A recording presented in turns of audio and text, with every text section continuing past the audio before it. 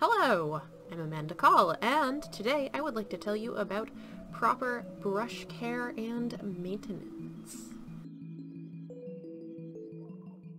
So as you know, I am a comic artist, and I do all of my work traditionally, so what that means is that I actually draw my comic on sheets of paper that uh, I then have to ink with a, a pen or a brush. Uh, most of the time, I prefer to use a brush for my figures and a pen for my backgrounds. I talk about this at length on a lot of like my live art streams. Because of this, having a really good brush and taking really good care of it is essential to my workflow. So I would like to share with you some good tips on how to take care of and maintain your brushes, keep them clean and in good working order for as long as possible. So what kind of brush am I going to be giving you tips on today? Well, a lot of my advice can really apply to any type of brush, but specifically I'm going to be focusing on natural bristle brushes that are meant for wet, uh, water-based media. Um, so the one that I use is the Winsor & Newton Series 7 Sable brush. I tend to use a size 4. Um, so they're made of actual sable natural bristles. These are not synthetic. These actually come from a little weasel-like animal known as a sable. they're kind of adorable and they make excellent brushes. I'm sorry, all my vegan friends. I won't be talking about just any type of wet media, I am actually going to be talking specifically about India ink. So that's stuff like uh, this stuff right here or this stuff right here. It's nice and dark, it's full of carbon, it's nice and sticky and opaque, and can make an absolute mess of your brush just by virtue of using it.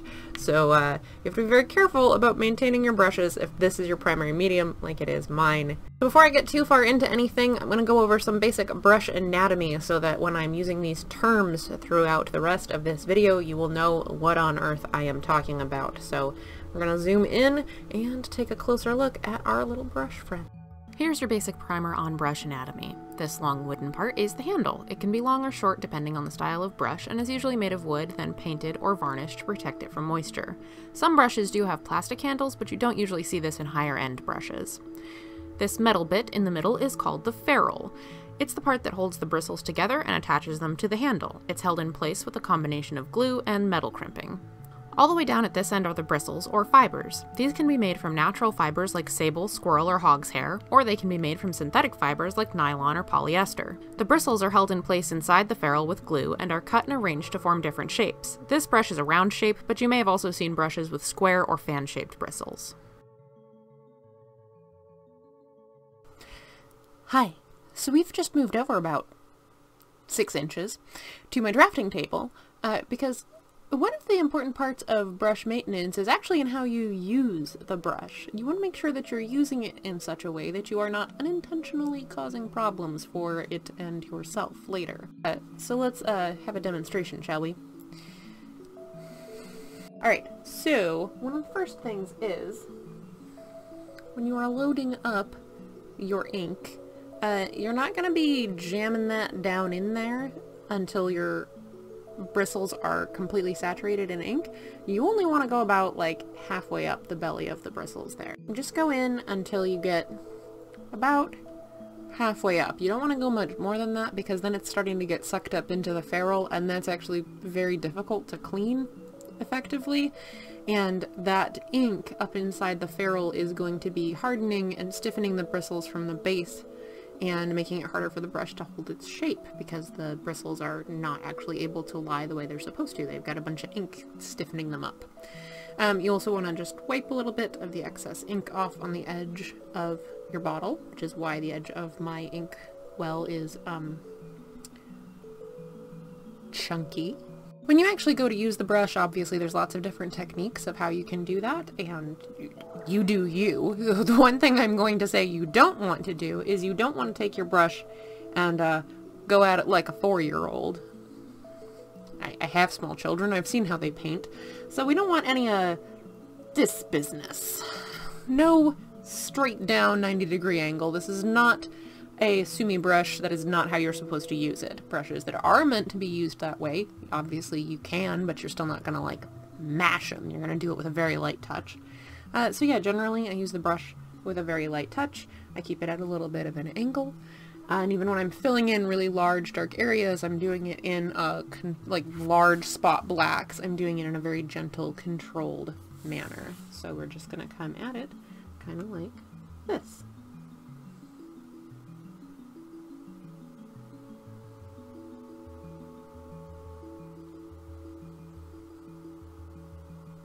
And after you make however many strokes it takes until you have used up the ink that is in the brush, it's gonna be probably more than you think unless you didn't get that much ink on there. You don't have to do this every time you reload your brush, but every so often as you're working, what you're gonna want to do is to actually give your brush a quick rinse. So, like I said, you don't have to do this every time that you go to reload your brush, but, you know, like every, maybe like every four or five times or so. You're gonna just have a little jar of water. I swear to you, this is clear, clean water.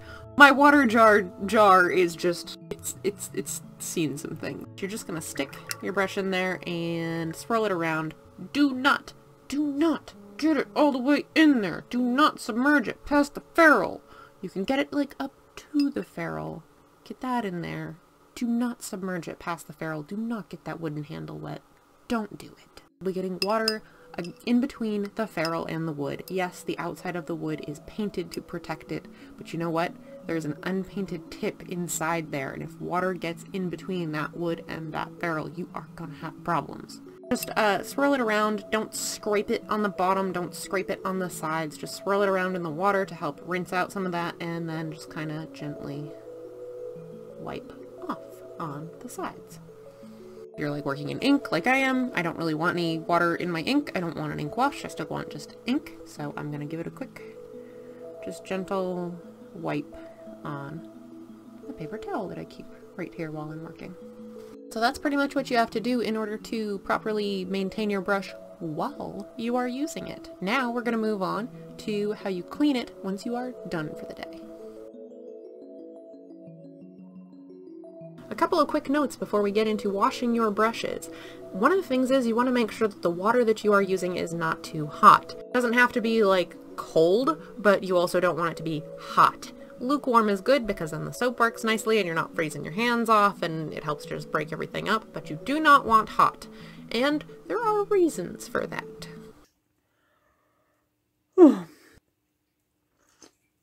okay, so here's the thing. Hair is made out of protein. What else is made out of protein? Breakfast. So allow me to give you a quick demonstration of what happens when protein encounters heat.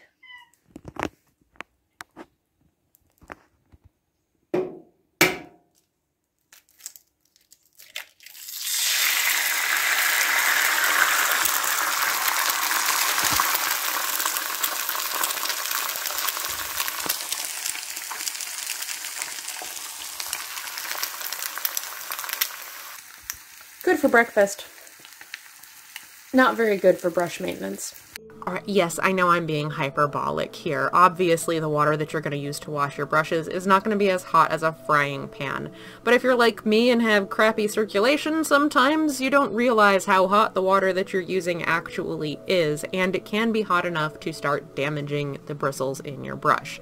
The big takeaway here is that heat causes protein to stiffen and you do not want the bristles to start to stiffen because when they stiffen they're not going to do their job as well and eventually they're going to break.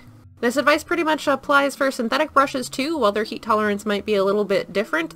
Synthetic bristles are made out of plastic, and what does plastic do in heat? It warps and melts. you don't want that either, because you're going to run into the same issue of your brush not holding shape and ultimately the bristles breaking. Hello and welcome to my bathroom. To clean your brush, you're going to need a few supplies. First is window cleaner. I keep some of it in an old spice jar. Next is regular old hand soap. Finally, you need a container of brush cleaner and conditioner.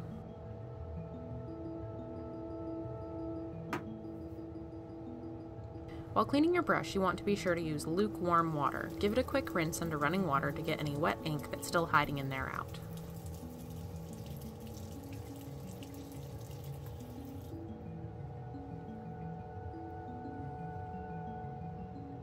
First, you're going to give the brush a quick dip in the window cleaner. Uh, yeah, so a little note, the Windex thing is a little bit controversial. Some people are going to tell you that it is too harsh and you shouldn't use it because of the damage it could do to the glue inside of the ferrule that are keeping the bristles in place. Part of the thing I have to say about that is that the reason I use the Windex first in this whole step is that then not only do I rinse it really thoroughly right after I use it, it also gives me a chance to make sure that in the following steps, any bit of it that's left in there gets rinsed out. For what it's worth, I've been using Windex to clean the first layer of gunk off my brushes for a couple of years now, and I have never had an issue with bristles falling out or any other kind of degradation of the brush from that. So, uh, I think it works just fine.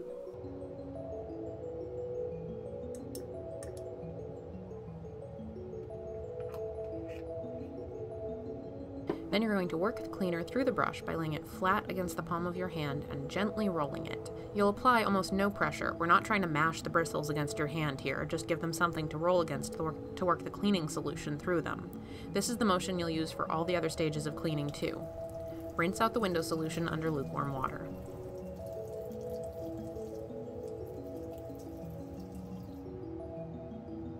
Now you're going to move on to the hand soap. Squirt a small amount into the palm of your hand and then use the same gentle rolling motion to work the soap through the bristles of the brush.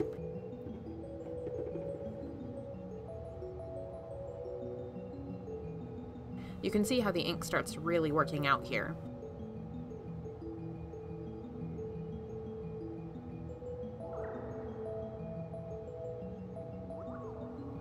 I usually give the brush a quick rinse and then give it another round of rolling around in the soap until I don't see any more ink coming out.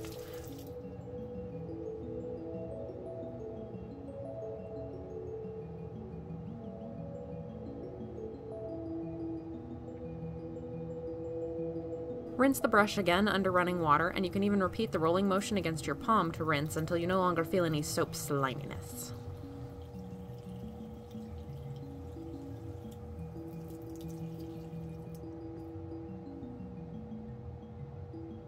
Finally, you're going to use the brush conditioner. Stop.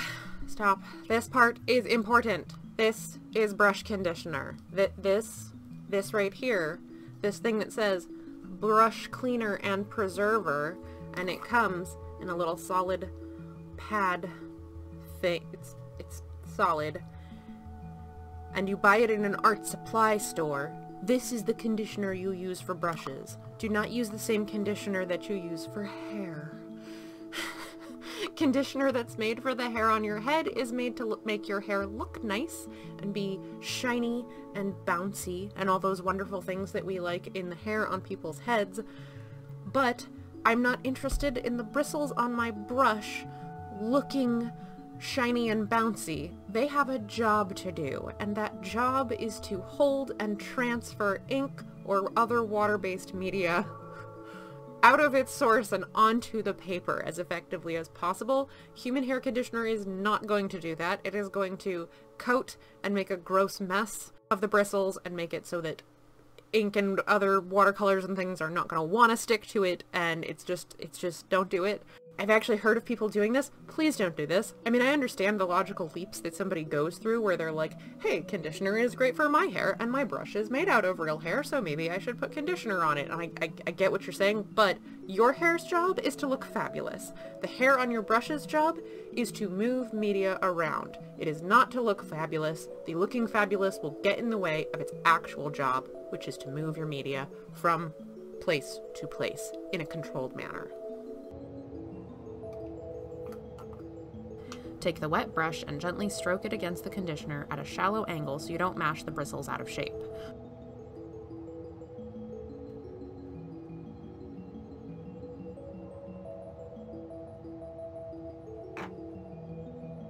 Repeat the rolling motion against your palm like before to work the conditioner through the brush. At this point, you shouldn't see any more ink coming out of the bristles. Give the brush one final very quick rinse since we want some of the conditioner to stay in the bristles. I also washed off some of the soap that had gotten on the handle here. At the very end, you'll want to reshape the bristles. You can do this by holding the bristles in the fold of your palm, the one right below the meaty bit where your fingers meet your palm.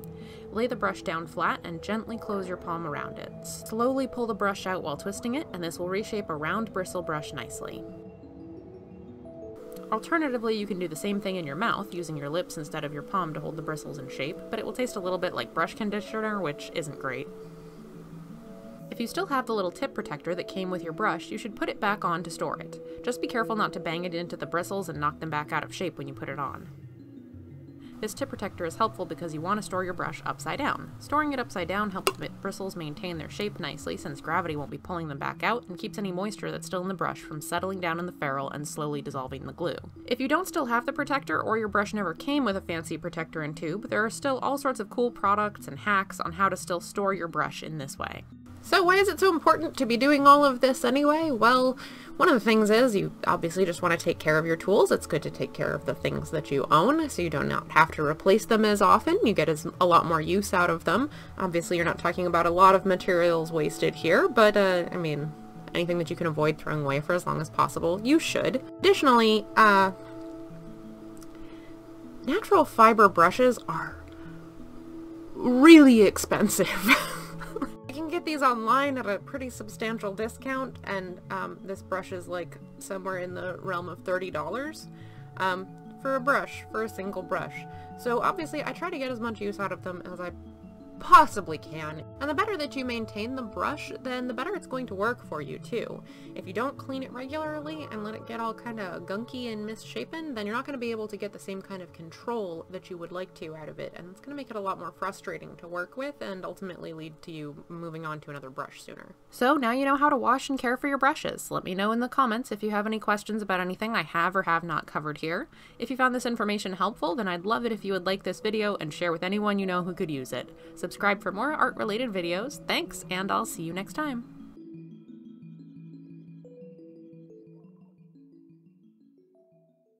Could you be, like, literally anywhere else right now? Possibly.